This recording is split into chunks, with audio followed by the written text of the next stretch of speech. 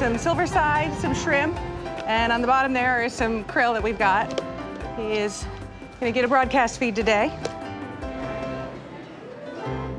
Good morning, Carl. This is the California kelp forest. It has about a dozen different species of fish that you might find off the west coast of the United States. We have a swell shark who's swimming up the window. This bright orange guy here is a Garibaldi damselfish. And this guy, Carl, is our male sheephead. It's feeding day today. Yeah, hi. He has learned all on his own that this green lid seems to mean food, and he will follow it around, even though I never, ever taught him that. They do have territories, so they're not the kind of fish that you would see schooling in, in big clusters. In this case, they have the male who's, in, who's sort of in charge of an area, and then there are females who would live within that area. One interesting fact about Carl is that he started out as a female and turned into a male. This species will start out as a female, and the most dominant one can turn into a male if there's no other male around. It's not that uncommon in the fish world. Carl is very smart. He's very territorial, and we are just hanging out in his world.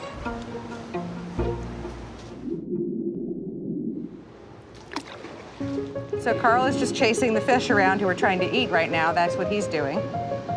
Leave them be. he's an anything goes kind of fish. We will be doing a maintenance dive in here to clean the windows, clean the rock work.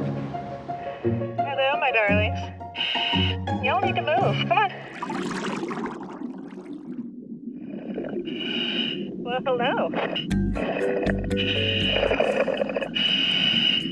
Right, little dude. Carl makes our dives a little more interesting. You need to move. Shoo. I'm getting into his space, and he's going to let me know that. Hey! Dude. Really? Get out of the way. When a sheephead turns from a female into a male, it takes somewhere between five days to two weeks. Their internal organs change from female to male organs, and they do get even bigger. They start off in this kind of rosy pink color, and as they transform, they get sort of a black front and back and a, a pinkish orange middle section. So now that we have a male and two females, it would be really cool if we saw breeding behavior. It would mean that we were doing our jobs right.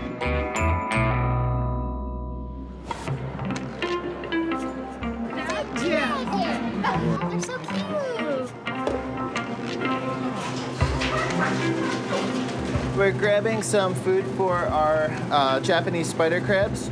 We have some whole shrimp, some pieces of clam, and some small fish, silver sides.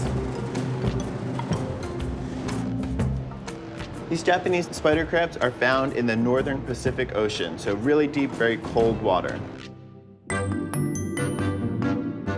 This exhibit is about 50 degrees Fahrenheit, so it's one of the coldest exhibits at the aquarium. Actually fairly small for their species. These guys can get up to over 10 feet across, almost the size of a small car.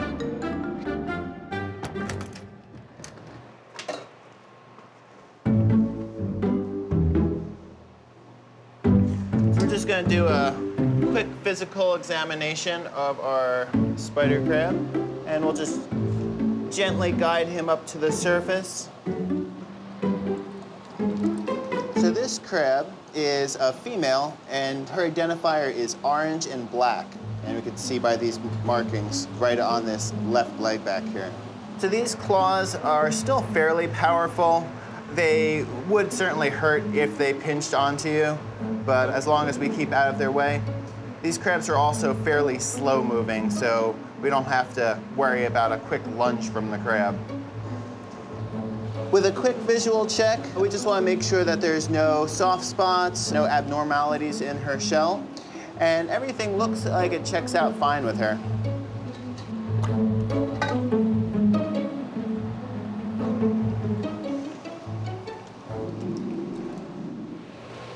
We have one of our molts, yellow, that is currently on exhibit, has molted out of his shell So when these guys molt their shell, they'll be very soft and not protected. We'll put an acrylic box over them, keep them safe from any of the other crabs. Japanese spider crabs can be cannibalistic if they can find an easy meal.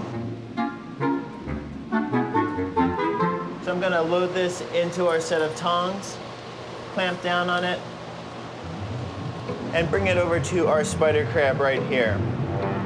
And it's going to take him a minute to uh, realize that it's food. Uh, they find their food mostly by smell. And then he's going to kind of wrap around it and grab that piece. Or, you know, just drop it and, you know, try to eat the tongs instead. That, that also works.